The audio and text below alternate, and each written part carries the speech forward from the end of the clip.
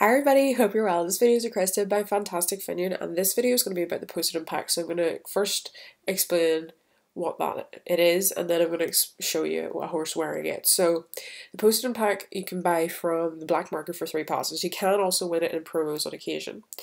The pack itself contains a bridle, a saddle, saddle blanket, polo wraps and an ear bonnet so it gives you the whole set of tack for your horse.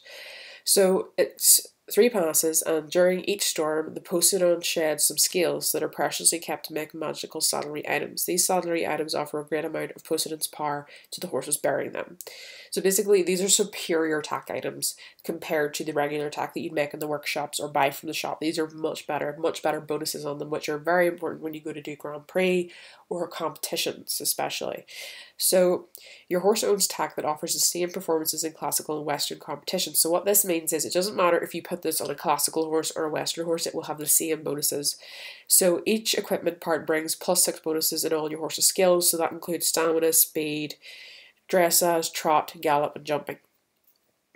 And your horse has to be over three years old before you can put the tack on the horse. So I'll show you a horse here that's wearing this. So this is a horse wearing the classical version of this. And if we go down, we can click on the bonuses and view the bonuses here. But if also if you go to the characteristics and you hover over the tack, it'll show you it here as well.